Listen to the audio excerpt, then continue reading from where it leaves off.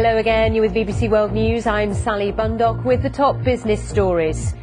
Charging ahead, Tesla sales hit a new record as it shrugs off the supply chain crisis for now.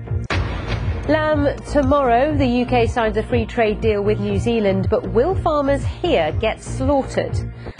Pressure in the pipeline. Can Europe work together to wean itself off imported gas? Plus, crypto confidence. Bitcoin touches a record high of $67,000 as acceptance grows on Wall Street.